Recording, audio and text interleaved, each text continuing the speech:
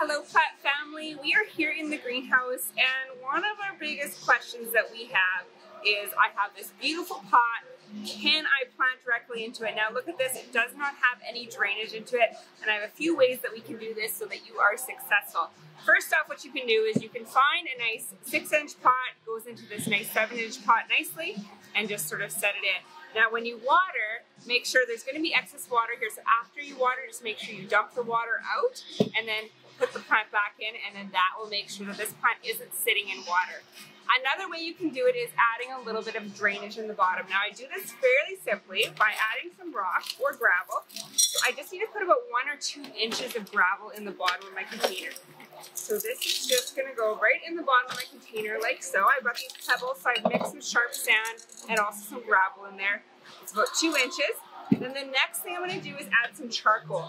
And what the charcoal is gonna do is it's gonna eliminate any bacterial growth and it's also gonna absorb some extra moisture. So that really definitely helps their plants. Then we wanna use a nice soilless mix, it's important that we use a soilless mix and we don't just grab garden soil out of our garden.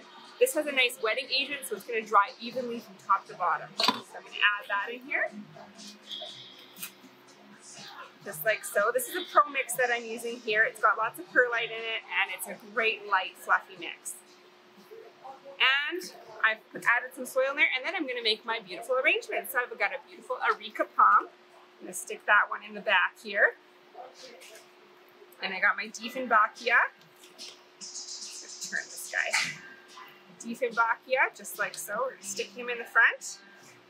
And when you plant, make sure you plant so you have about a half an inch of soil at the top of the, um, just down half an inch of soil, just so that you can put some water in there and it allows for the water to sit and it's not spilling over the side.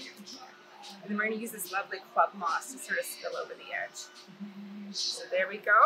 We have made a beautiful arrangement that's gonna be successful now in that pot. Now it's really important after you finish water, um, planting your container to add some water to this pot. But don't just dump it like you normally would where you wait for it to flow at the bottom of your pot. You want to just do water sparingly. So little bits of water more frequently is best for that container that does not have holes in it. So hope you learned something here at Dutch Growers. Come visit us under the windmill or online dutchgrowers.com.